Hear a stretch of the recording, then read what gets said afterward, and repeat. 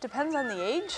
In a toddler classroom, uh, conflicts are a part of toddler life and learning to get through them is, is a developmental stage. And the same within early childhood, all the way through. I, I really see the school experience as a safe microcosm of society. This is where we learn how to relate to human beings. I've been noticing that uh, people haven't been wiping the RFMs off. I would like them to check twice. Um, I picked uh, You Get What You Gave. And my logo is uh, two boomerangs, one with good and one with bad, showing that whatever you throw out there comes back. So it's not a place where we avoid conflict because it's going to happen. I had a parent once who asked, um, can you make a, um, what was it, an aggression-free zone? Make this an aggression-free zone. They had heard that in some other setting. Said, you know, to declare something like that is setting children up for failure. And really what we want to help them to know is that this is a space where they are safe. And if something is happening that they don't like, if something, someone is doing something that they don't like, or if they are doing something inappropriate, there is always a responsible adult nearby who can help. There are also their peers nearby who will call them on it.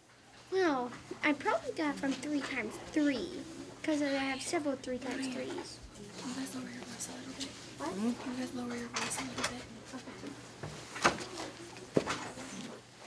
older they get, the more important that is, is helping children to know that they themselves are responsible within the context of the peer group to keep each other going in the right path.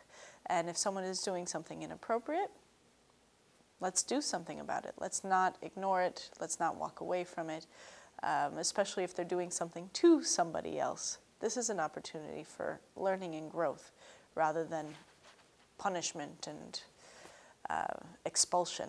Uh, here it's, it's, our emphasis isn't on what is the punishment for it, it's really how are we as a community impacted by it and how are we going to help this child to address it. Um, so on the classroom level, it's using appropriate language for the age group that you're working with. It's finding appropriate recourses for the age groups that you're working with. The older the children get, the more cognitive the discussion becomes, the more self-aware they become. Is it acknowledgements? Um, I'd like to acknowledge JL on the other side because in choir today we were dancing during one song. We were having a lot of fun.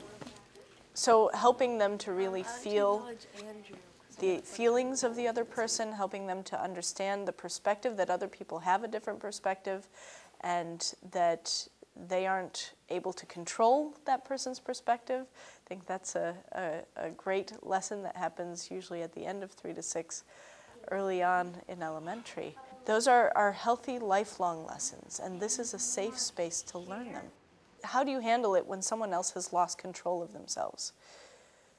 Here, it's not an aggression-free zone.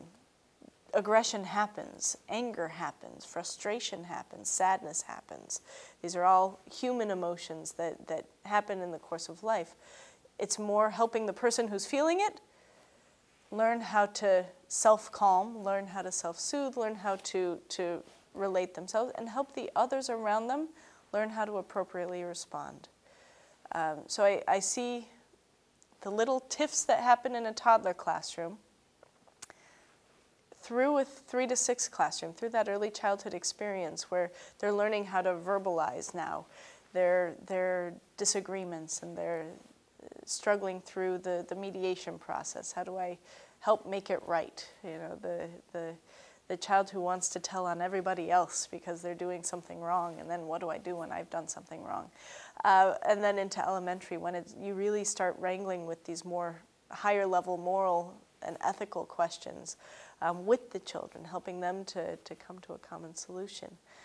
Uh, it's, a, it's a great, healthy process when the adults dive into it with the children in an age-appropriate way.